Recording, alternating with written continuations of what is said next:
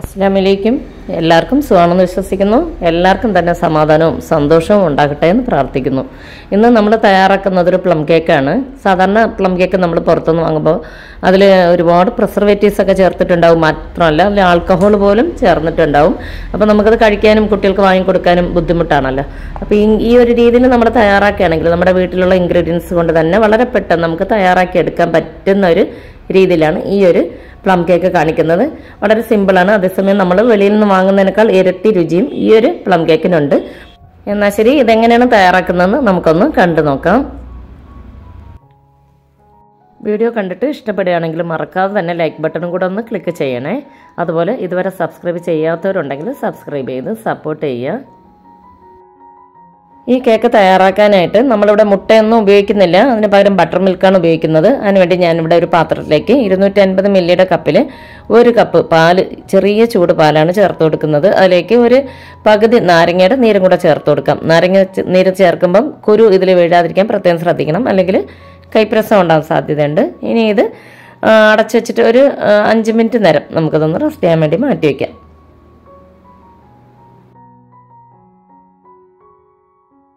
അടുത്തായിട്ട് ഇതിലേക്ക് വേണ്ട ശർക്കര പാനി നമുക്ക് ഉരുക്കിയെടുക്കണം. ഞാനിവിടെ പഞ്ചസാര അല്ല ഉപയോഗിക്കുന്നത് ശർക്കര പാനിയാണ് ഉപയോഗിക്കുന്നത്. അതിന് വേണ്ടിയിട്ട് ഇവിടെ ഒരു പാത്രത്തിലേക്ക് ഒരു കപ്പ് അളവിൽ ശർക്കര പൊടി. ശർക്കര നല്ലതുപോലെ ഒന്ന് ഇടിച്ചിട്ട് എടുത്തതാണ്. നമ്മൾ സാധാരണ ഇടിയല്ലേ ഈ ഇഞ്ചിയും വെളുത്തുള്ളിയൊക്കെ ഇടിക്കാൻ എടുക്കുന്ന ആ ഒരു കല്ലുകൊണ്ട് ഇടിച്ചെടുത്താൽ മതി. അത് ഒരു കപ്പ് അളവിൽ ഇരുന്നൂറ്റി അൻപത് മില്ലിയുടെ കപ്പിൽ ഒരു കപ്പ് എടുത്തിട്ടുണ്ട്. അതിലേക്ക് അര കപ്പ് വെള്ളം ഒഴിച്ച് നല്ലതുപോലെ ഒന്ന് മെൽറ്റ് ചെയ്തെടുക്കണം. ഇനി ഉരുകി വന്നിട്ടുള്ള ശർക്കര പാനി വേറൊരു പാത്രത്തിലേക്ക് അരിച്ചിട്ടൊഴിക്കുകയാണ്.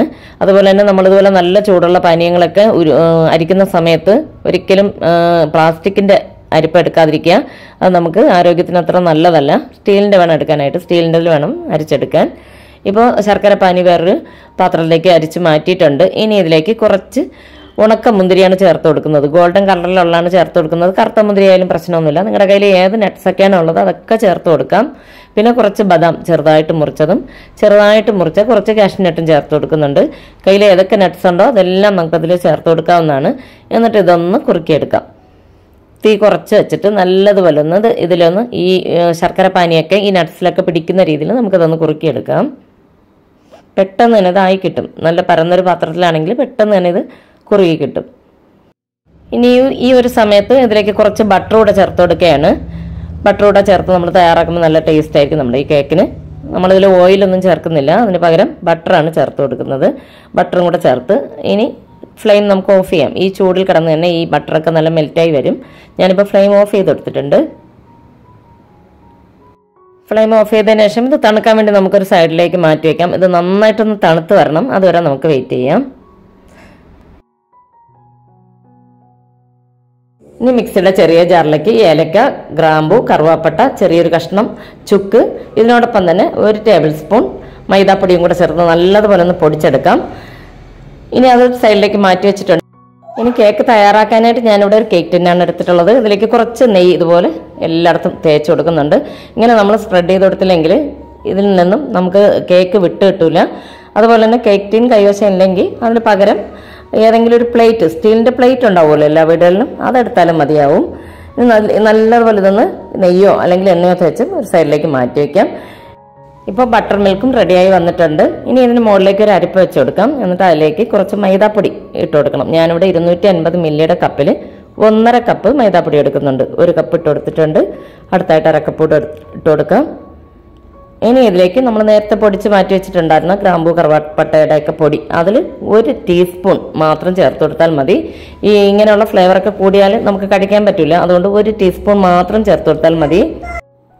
ഇനി അടുത്തതായിട്ട് ഒരു കാൽ ടീസ്പൂൺ അളവിൽ ഉപ്പ് ചേർത്ത് കൊടുക്കാം. ഒരു കാൽ ടീസ്പൂൺ തന്നെ മതിയാവും. കൂടുതൽ ചേർത്ത് കൊടുക്കേണ്ട. ഒരു കാൽ ടീസ്പൂൺ ഒക്കെ തന്നെ മതിയാവും. അടുത്തായിട്ട് ഒരു ടീസ്പൂൺ ബേക്കിംഗ് പൗഡറാണ് ചേർത്ത് കൊടുക്കുന്നത്. ഇപ്പം നിങ്ങളുടെ കയ്യിൽ ബേക്കിംഗ് പൗഡർ ഇല്ലെങ്കിൽ അതിന് പകരം ബേക്കിംഗ് സോഡ. നമ്മൾ അത് ഞാൻ പിന്നീട് പറയാം. പിന്നീട് ചേർത്ത് കൊടുക്കാം നമുക്കത്. ബേക്കിംഗ് പൗഡർ കൈവശം അല്ലെങ്കിൽ പ്രശ്നമൊന്നുമില്ല. ബേക്കിംഗ് സോഡ ചേർത്ത് കൊടുത്താലും മതിയാവും. അത് പിന്നീട് നമ്മൾ ചേർത്ത് കൊടുക്കുന്നതാണ്. ഇപ്പം നല്ലതുപോലെ ഇതൊന്ന് അരിച്ചെടുക്കാം. കട്ടകളൊന്നും ഇല്ലാതെ നല്ലതുപോലെ തന്നെ അരിച്ചെടുക്കണം. ഈ ബേക്കിംഗ് പൗഡറും ഉപ്പും എല്ലാം മാവിൽ നല്ലതുപോലെ കലരുന്ന വിധം നല്ലതുപോലെ ഒന്ന് അരിച്ചെടുക്കണം. അതിനുശേഷം ഇതിലേക്ക് ഒരു പത്ത് ഈത്തപ്പഴം നല്ലതുപോലെ ഞാൻ ഇതുപോലെ മുറിച്ചെടുത്തിട്ടുണ്ട് അതിന്റെ കുരുവൊക്കെ മാറ്റിയതിന് ശേഷം. ഇപ്പോൾ നമ്മൾ നേരത്തെ മിക്സ് ചെയ്ത് വെച്ചിട്ടുണ്ടായിരുന്ന നട്ട്സൊക്കെ നല്ലതുപോലെ തണുത്ത് വന്നിട്ടുണ്ട്. അതും കൂടെ ഇതിലേക്ക് ചേർത്ത് കൊടുക്കാം.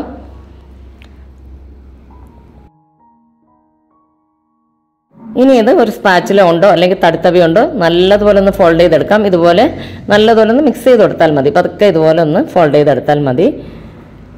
ഇതുപോലെ ഒന്ന് മിക്സ് ചെയ്ത് കൊടുക്കുക.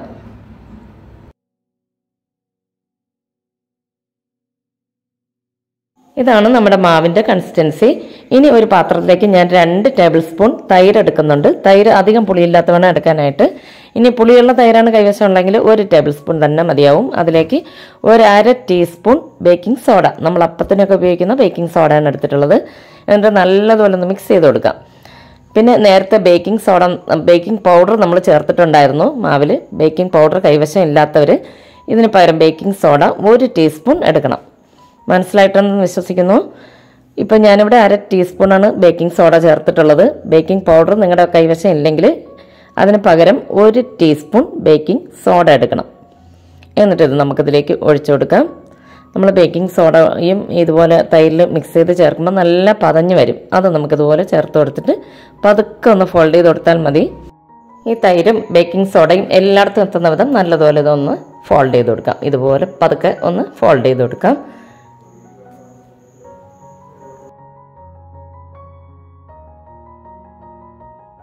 ഇതാണ് മാവിന്റെ ഒരു കൺസിസ്റ്റൻസി ഇനി നമുക്കത് കേക്ക് ടിന്നിലേക്ക് ഒഴിച്ചു കൊടുക്കാം. കേക്ക് ടിന്നിൽ ഒഴിക്കുമ്പോൾ പകുതി ഭാഗം മാത്രമേ ഒഴിക്കാൻ പാടുള്ളൂ. കേക്ക് ടിന്നിന്റെ പകുതി മാത്രം ഒഴിച്ചു കൊടുക്കുക. കാരണം വെന്ത് വരുമ്പോൾ ഇത് നല്ലതുപോലെ ഒന്ന് പൊങ്ങി വരും. അതുകൊണ്ട് കേക്ക് ടിന്നിന്റെ പകുതി ഭാഗം മാത്രം ഒഴിച്ചു കൊടുക്കണം. എന്നിട്ട് ഇതുപോലെ ഒന്ന് ടാപ്പ് ചെയ്ത് കൊടുക്കാം. ഇതിന്റെ എയർ ബബിൾസ് ഒക്കെ പോകുന്നതിന് വേണ്ടിയിട്ടാണ് ഇതുപോലെ ഒന്ന് ടാപ്പ് ചെയ്ത് കൊടുക്കുന്നത്. ഈ ഒരു സമയത്ത് ഞാനൊരു പഴയൊരു സ്റ്റീൽ പാത്രം നല്ലതുപോലെ ഒന്ന് ചൂടാക്കാൻ വേണ്ടി വെച്ചിട്ടുണ്ടായിരുന്നു. നല്ലതുപോലെ ഒന്ന് പ്രീഹീറ്റ് ചെയ്തെടുത്തിട്ടുണ്ട്. പഴയൊരു കട്ടിയുള്ളൊരു പാത്രം വേണം എടുക്കാനായിട്ട്. നല്ല കട്ടിയുള്ളൊരു പാത്രമായിരിക്കണം എടുക്കേണ്ടത്. നല്ലതുപോലെ ഒന്ന് ചൂടാക്കണം. ചൂടാക്കിയതിന് ശേഷം നമുക്ക് ഈ കേക്കിന്റെ ബാറ്റർ വെച്ച് കൊടുക്കാം. അതുപോലെ തന്നെ കേക്ക് ബാറ്റർ വെച്ചതിന് ശേഷം ഫ്ലെയിം ഏറ്റവും ലോ ഫ്ലെയിമിൽ വെച്ച് കൊടുക്കുക ഏറ്റവും കുറച്ച് തീ വെച്ചിട്ട് വേണം ഇത് വേവിച്ചെടുക്കാനായിട്ട്. അല്ലെങ്കിൽ അകമൊന്നും വെന്ത് കിട്ടില്ല അതൊക്കെ പ്രത്യേകം ശ്രദ്ധിക്കണം. അതുപോലെ തന്നെ നമ്മൾ അടയ്ക്കുന്ന സമയത്ത് അടപ്പിൽ ചെറിയ ഹോളൊക്കെ ഉണ്ടാവുമല്ലോ. ചില അടപ്പിലൊക്കെ ഇതുപോലെ ഗ്ലാസ് അടപ്പാണെങ്കിൽ അതൊക്കെ ഒന്ന് അടച്ചിട്ട് വേണം വെച്ച് കൊടുക്കാനായിട്ട്. ഒട്ടും തന്നെ ആവിയൊന്നും പുറത്ത് പോവാതെ നല്ല ടൈറ്റ് ആയിട്ടുള്ള ഒരു അടപ്പ് വേണം അടച്ചു വെച്ച് കൊടുക്കാൻ. ഇതുപോലുള്ള ഹോളൊക്കെ ഉള്ള അടപ്പാണെങ്കിൽ അതിൽ പേപ്പർ ചുറ്റി വെച്ചിട്ടോ അല്ലെങ്കിൽ അലുമിനിയം ഫോയിലോ ഒന്നും അല്ലെങ്കിൽ ഞാനിവിടെ ഒരു ഗ്രാമ്പുമാണ് വെച്ച് കൊടുത്തത്.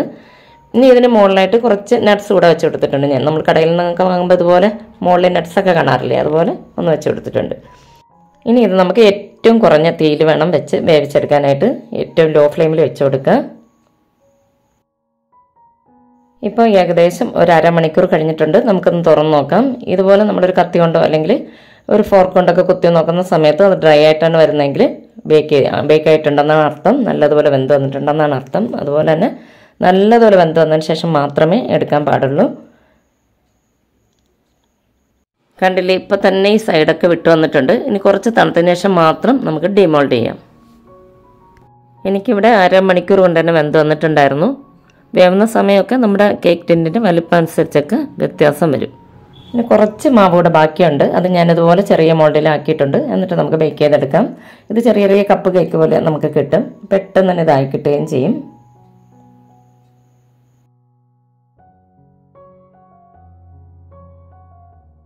ഇപ്പോൾ കേക്ക് കുറച്ച് തണുത്ത് വന്നിട്ടുണ്ട്. നമുക്കിത് ഡിമോൾഡ് ചെയ്യാം. ഈ കേക്ക് നല്ല തണുത്തതിന് ശേഷം കഴിക്കുമ്പോഴാണ് ടേസ്റ്റ് ഉണ്ടാവുക. അതുപോലെ തന്നെ പിറ്റേ ദിവസം കഴിക്കുകയാണെങ്കിൽ കൂടുതൽ ടേസ്റ്റ് ഉണ്ടാവും. നമ്മളൊന്ന് തട്ടിക്കൊടുക്കുമ്പോൾ തന്നെ വീഴും. അത്രയ്ക്ക് പെട്ടെന്ന് തന്നെ തിളകി വരും. അടിയിലൊന്നും പിടിച്ചിട്ടില്ല. പാത്രമൊക്കെ നല്ല ക്ലീനായി ഇരിക്കുന്നുണ്ട്. ഞാൻ ബട്ടർ പേപ്പറൊന്നും ഇട്ടിട്ടില്ലായിരുന്നു. എന്നിട്ടും അടിയിലൊന്നും പിടിച്ചിട്ടില്ല. നെയ്യ് തേച്ച് കൊടുക്കുകയാണ് ചെയ്തത്. അതുപോലെ തന്നെ നമ്മൾ പാത്രത്തിൽ നെയ്യ് തേക്കുമ്പം കൂടുതൽ നെയ്യ് തേക്കരുത്. അങ്ങനെയാണെങ്കിൽ അടിവശം ഹാർഡായി പോവും. അതും കൂടെ ഒന്ന് പ്രത്യേകം ശ്രദ്ധിക്കണേ. നല്ല പെർഫെക്റ്റ് ആയിട്ട് കിട്ടിയിട്ടുണ്ട് കണ്ടില്ലേ? നല്ല പെർഫെക്റ്റ് ആയിട്ട് തന്നെ കേക്ക് കിട്ടിയിട്ടുണ്ട്.